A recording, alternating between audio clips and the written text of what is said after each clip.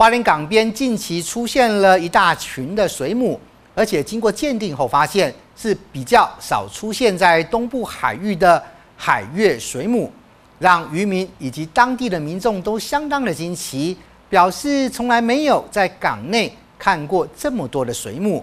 专家研判，可能是被之前台风的海流影响，意外的带进了港区。好多水母哦，在港内。一只只晶莹剔透的水母突然大量出现在华联港赏金码头，收缩自如的小巧模样，让人看得好疗愈，引起民众围观。这种奇特景象，就连当地渔民也不曾看过。我就是很好奇啊，因为平常在海边都没有看到。哼哼哼，一次出现这么多？对。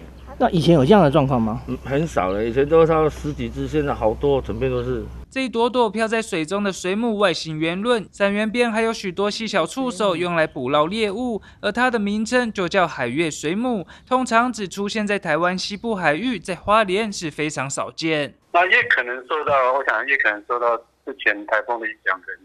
一般来讲，水母它对这种浪物理性的浪蛮敏感的，所以。比较大的波浪的时候，它将都会到港区里面。